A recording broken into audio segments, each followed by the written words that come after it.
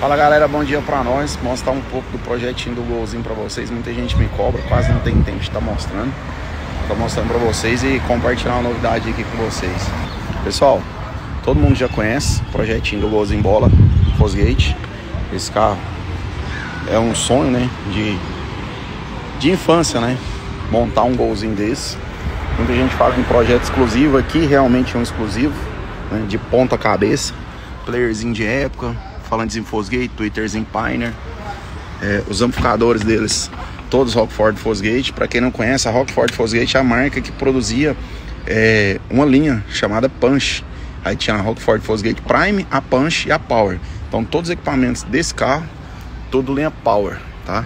Tudo. Esse carro conta com 7 baterias, duas fontes 200, um alternador Macman de 300, dois modos 2000, dois modos 800, um modo 400 para os Twitter.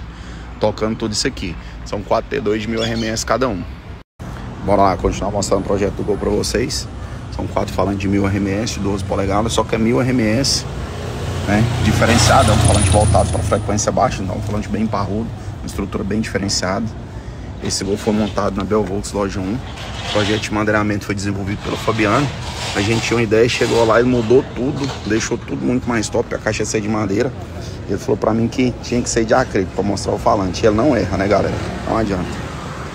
Projetinho do forro de porta. Isso aqui era um sonho, né? Meio forro de porta. Sem emenda no corvinho. Com separado. E aqui foi um jogo do Fabiano, hein? A do degrauzinho pra dar o detalhe do meio forro. Porta-modo eu mostrei pra vocês, mas não dei detalhe, né?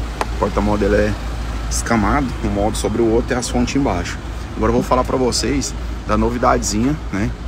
Que a gente vai aprontar aqui. Galera, vamos lá. Quando você fala assim, ó, vem uma novidadezinha envolvendo um projeto de carro de som, todo mundo já imagina que vem rico. Não, esse projeto não é para isso, esse projeto é um projeto pessoal meu.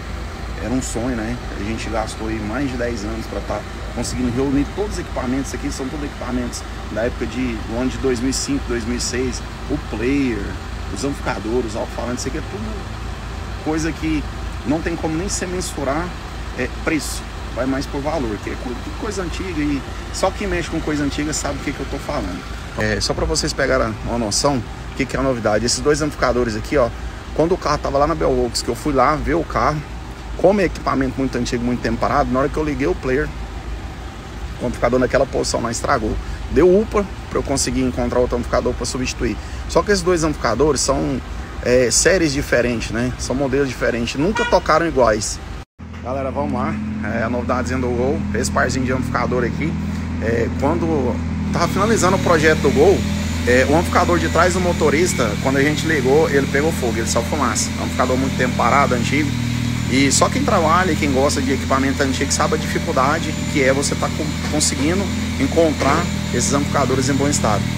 Aí, hoje a gente vai estar tá fazendo a troca dos dois amplificadores é, o outro amplificador que eu consegui pra comprar para colocar no lugar, ela era série diferente. Uma era da plaquinha verde, outra da plaquinha vermelha, modelo diferente, não tocava igual o sub. Dava muito trabalho, às vezes tocava na alta, na baixa não tocava. A gente conseguiu dois do mesmo para estar tá colocando lá para ver se a gente consegue melhorar ainda mais o rendimento desse carro. O carro que a gente quase não mexe, quase não anda, por falta de tempo mesmo, galera. Mas hoje, se Deus quiser, ele vive.